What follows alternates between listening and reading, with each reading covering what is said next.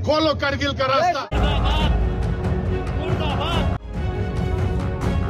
Are पार छोड़ दो। कर दो काट दो। कारगिल खोल दो टूटे रिश्ते जोड़ दो। हाँ यही है आजकल पीओके का नारा। क्या चल रहा है आजकल पीओके में? क्यों वो लोग पाकिस्तान से अलग होना चाहता है?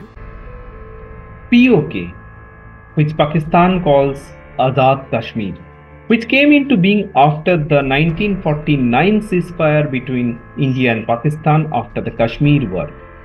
Pakistan's constitutional position on POK is that it is not a part of the country but the liberated part of the Kashmir. Article 257 of Pakistan Constitution says when the people of the state of Jammu and Kashmir decide to accede to Pakistan, the relationship between Pakistan and the states shall be determined in accordance with the wishes of the people of the state. POK is run by the Pakistan government through Kashmir Council, which is a nominated 14 member body headed by the Prime Minister of Pakistan. Six members are nominated by the Pakistan government and eight members from the POK Assembly, including the Prime Minister of Azad Kashmir. POK Assembly has 53 seats and about 20 lakh voters. Out of 53 seats, 45 are directly elected members, among 33 are from constituencies in Azad Kashmir, while 12 are refugee constituencies in Pakistan's four provinces, representing those who migrated from the Indian side to Pakistan in 1947. The remaining eight seats in the assembly are filled via nomination. What is the grievance? POK has been largely deprived of the development activities compared to the other parts of the country.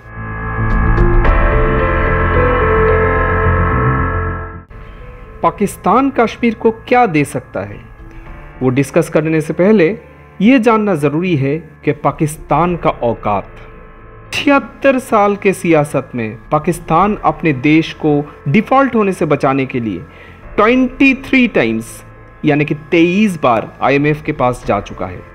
This is the highest number of times any country asked for bail out to the IMF this is due to the wide spread corruption in the country lack of education and lack of effort to develop for citizen of the country the most important topic remains anti India sentiment, pro Islamic activities.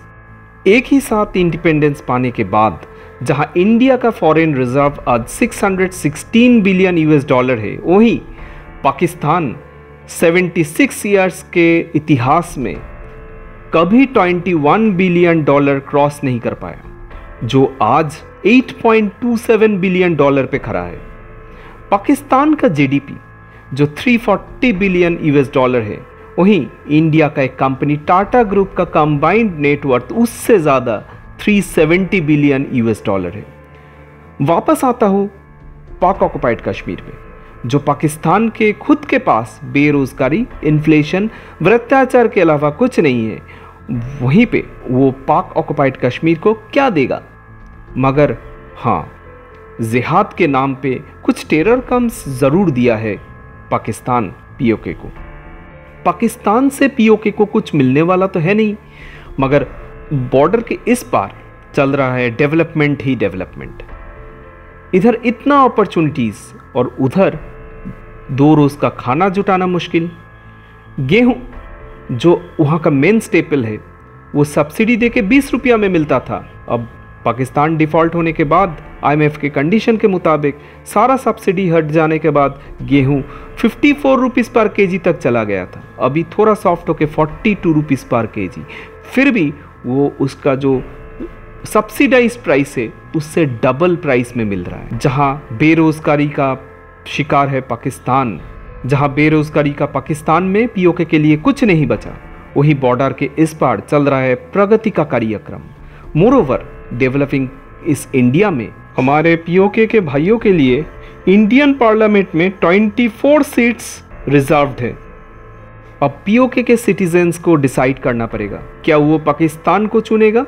बेरोजगारी का पाकिस्तान भ्रष्टाचार का पाकिस्तान को चुनेगा या border के इस पार चलते हुए प्रगति का हिस्सा बनेगा? Let residents of PoK to decide मगर इसको कंक्लूड करने से पहले मुझे कुछ इंपॉर्टेंट कहना है। एब्रोगेशन ऑफ़ आर्टिकल 370 से कुछ देश प्रेमियों को बहुत तकलीफ़। है सुप्रीम कोर्ट के बाद अगर कुछ होता तो वो लोग वहीं पे जाते। जब तक नहीं जीतेंगे, तब तक लड़ेंगे। ऐसा अप्रोच रखते हैं ये लोग। छिहत्तर साल के सियासत में कश्मीर का कोई डेवलपमेंट नहीं हुआ। कश्मीर के डेवलपमेंट का सारा अलॉटमेंट ये लोग पॉकेट में डाल के अपने घर लेके गए। ये वो लोग हैं जो इंडियन डिफेंस को स्केप गोट बनाता रहा। ये वो लोग हैं जो एंटी इंडिया सेंटिमेंट को प्रोवोक करते रहे। सारा टेररिस्ट एक्ट को पीछे से सपोर्ट किया, जब इंडियन मिलिट्री पे हमला हुआ सिर्फ़ कंडेम करके छोड़ दिए, मगर मिलिट्री को एक्शन लेने नहीं दिया। ये वो लोग हैं जो क्रॉस बॉर्डर टेररिज्म के समय देश प्रेमी का नकाब पहन के बस कंडेम करते हैं। पाँच सौ रुपया में इंडियन मिलिट्री पे पत्थरबाजी करवाए। रिस्पेक्टेड इंडियन मिलिट्री को हैंडीकैप्ड बना के रखे, बलि का बकरा बना के रखे और इश्यूज़ को जड़ से उखाड़ने के लिए कोई स्टैंड नहीं लिया। कश्मीर जितना अशांत रहा, उतना फ़ायदा इन लोगों को हुआ है। इवन पीओके अगर इंडिया का हिस्सा बन जाए, इससे भी इन लोगों को बहुत तकलीफ़ है। अनफॉर्चुनेटली वो अपने आप को इंडिया का नहीं कश्मीर के सिटीजन समझते हैं। कश्मीर कंट्री के सिटीजन समझते हैं। किस बात की दर्द है इन लोगों को? पीओके अगर इंडिया में आ गया, पाकिस्तान के साथ नाइंसाफी का दर्द इन लोग को सता रहा है। पहचानो देश के इस गद्दारों को, देश के दुश्मनों को। इफ़ टाइम परमिट्स मैं अगले एक वीडियो में इन लोगों का नकाब उतारूँगा। 75 इयर्स में जो डेवलपमेंट नहीं हुआ था कश्मीर में, जो शांति नहीं आया था, वो बस एब्रोकेशन ऑफ़ आर्टिकल 370 के बाद बस डेढ़ साल में आ गया। अब वहाँ के लोग पाँच सौ रुपया में मिलिट्री पे पत्थरबाजी नहीं करते हैं। उनके पास जॉब है बिज़नेस है, और ये तो बस शुरुआती है। और इसलिए पाक ऑक्युपाइड कश्मीर को भी सोचने पर मजबूर कर रहा है।